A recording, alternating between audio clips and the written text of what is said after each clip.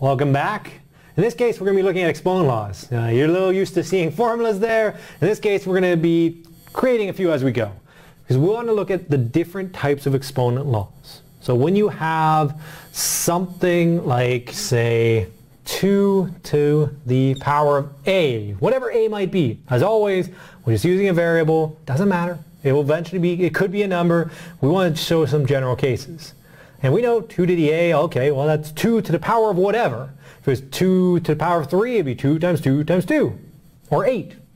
But what happens when I have another one right beside it? 2 to the b.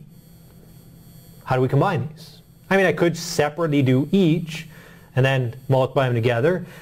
But in this case, I don't know what a or b is. How can I write this as one number? Well, when you have this, as long as they're to the same number here, the same base, then what we get is simply 2a plus b. You add them. Well, if they were numbers, if we knew what they were, we just simply add them.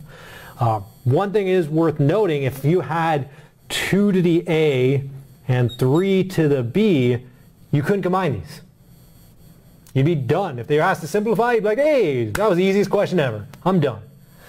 Of course, if you knew what these numbers were, you could figure out what that is. Like if this was 2 squared, it'd be 4. If this was 3 squared, it'd be 9. Oh, and then it would be 3, 9 times 4, or 36. But right now, we're stuck. We'd be done. We'd call that a day. Let's look at some actual examples. So remember, it doesn't really matter what the base is, as long as the base is the same. So if I had something like 4 to the power of 3 and 4 to the power of 6. Again, I could figure them out separately, but if I was just asked to simplify it and keep it as an exponent, this would be the same as 4 to the 3 plus 6, or 4 to the 9. And I invite you to try that at home. Check. Try 4 to 3, 4 to 6, punch them in your calculator, figure out what they are, multiply them together, then punch in your calculator 4 to the power of 9. You're going to see that saves you some time. So, we're good. But what if there's more? More than 2? Again, it doesn't matter what the base is, as long as the base is the same. So 5 to the 7, and 5 to the 3, and 5 to the 9, and 5 to the 2. Great, again, I could just do them all separate, but if I want to simplify this as an exponent, this is the same as saying 5 to the 7 plus 3 plus 9 plus 2, or in other words, 5 to the 21. Good. And again, punch that in your calculator, you'd figure out what it is. A pretty big number, obviously. But we can also have negative exponents. And we're talking about the meaning of that. Well, actually, you know what? I'll talk about the meaning of that in probably in the next video.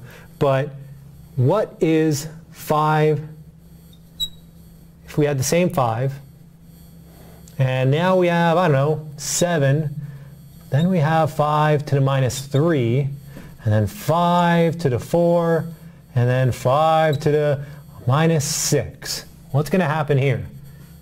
It's the same basic math. We still are adding the exponents, but some of them are minus. Some of them are negative numbers, so we have 5 to the 7, and we're going to think it's plus minus 3. So it's really going to subtract 3. Plus 4 plus minus 6. So it's really 7 minus 3 plus 4 minus 6. So 11 minus 9, really, or 5 squared. And then we could say, hey, it's 25. Or if we just want to leave it as exponent, we could just call it right there. So this is a pretty quick introduction to how you handle the multiplication ones. And well, that's all we need.